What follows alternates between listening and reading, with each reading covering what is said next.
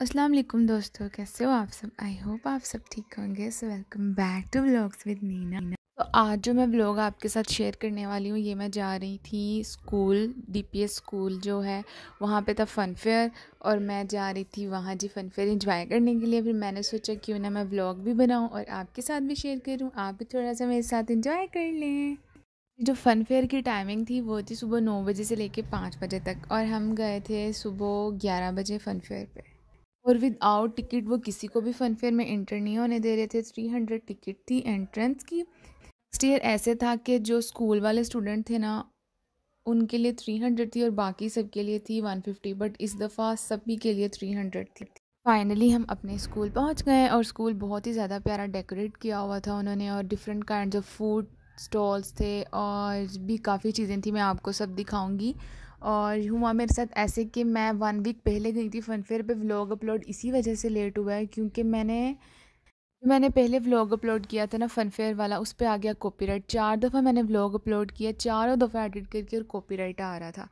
पता नहीं वो क्यों ऐसा आ रहा था, पर मुझे इतनी प्रॉब्लम हुई ये वाला व्लॉग अपलोड करते हुए। चार दफ़ा किया, चारों दफ़ा कॉपीराइट प्रॉब्लम यहाँ पे हुई फ़न फेयर पे लगे हुए था म्यूज़िक ठीक है? और कोई एक क्लिप ऐसा था जिसका जो वॉल्यूम था ना, मैं म्यूट करना भूल गई, जिसकी वजह से बार बार कॉपीराइट आ रहा था। तो फिर दोस्तों, मैंने डिसाइड किया कि मैं सारा ब्लॉग खुद ही वॉइस ओवर करूँगी और थोड़ा सा भी जो ओरिजिनल वॉल्यूम है, वो नहीं लूँगी, क्योंकि फ़न फेयर पे लगा हुआ था साउंड जिसकी वजह से मुझे कॉपीराइट का इशू आ रहा था। तो अब हम बाकी बातें बाद में करते हैं, अब हम करते हैं अपनी अच्छी अच्छी बातें स्टार्ट और हर साल की तरह इस साल भी स्कूल में बहुत ज़्यादा क्राउड था फनफेयर पर। और ऐसे लग रहा था कि जैसे पूरा सिटी जो है ना वो यहीं पे आया हुआ है।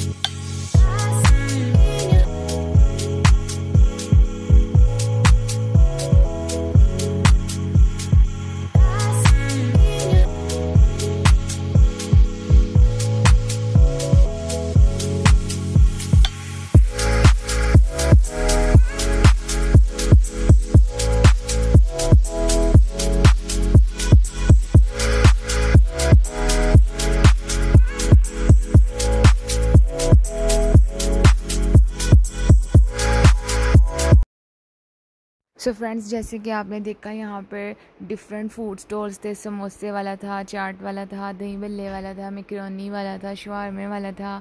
और यहाँ पे कबाबिश बारबेक्यू जो मेरा फेवरेट है वो भी था।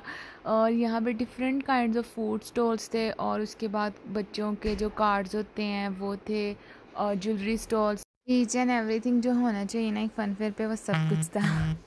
और उसके बाद जी हमें लग गई भूख तो हमने स्टार्ट किया। सबसे पहले मैक्रोनी है मैक्रोनी की प्लेट थी जो हंड्रेड की दे रहे थे। हमने मैक्रोनी खाई है बैठ के। सबसे पहले, और जो बिल्कुल भी बिल्कुल भी टेस्टी नहीं थी। वेस्ट ऑफ़ मनी हुआ ये तो हमारा। पर हमें भूख इतनी लगी हुई थी, हमने खा ली। उसके बाद जी यहाँ पे आए हुए थे जो, क्या बोलते हैं उन्हें? डीपीओ बोलते हैं, वो विज़िट करने आए हुए थे सारा फन फेयर और उन्होंने हर फ़ूड का जो स्टॉल था, वो विज़िट किया है। ठीक है।